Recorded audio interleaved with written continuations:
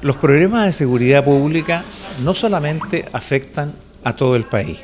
La verdad es que hemos visto situaciones casi grotescas en el último tiempo, que hasta la escolta presidencial es objeto de asaltos y robos. Pero en nuestra región estamos también con situaciones graves.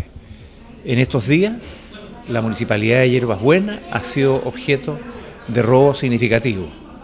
Y lamentablemente, en estos días se ha cumplido un año desde que se cometiera el asesinato de dos conocidos profesores de la región, que hasta el día de hoy no ha podido ser esclarecido.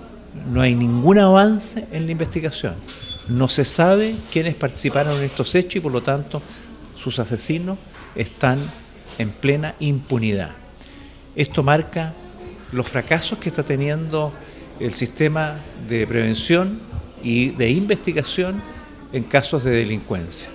Y creemos que hay aquí una deuda pendiente a la cual el gobierno debe darle la máxima prioridad. Estamos pidiendo que se acelere la agenda corta de seguridad pública y esperamos cada vez medidas más ejemplares para poder evitar o dar señales que eviten la comisión de delitos de esta naturaleza. Pero pareciera que no es suficiente.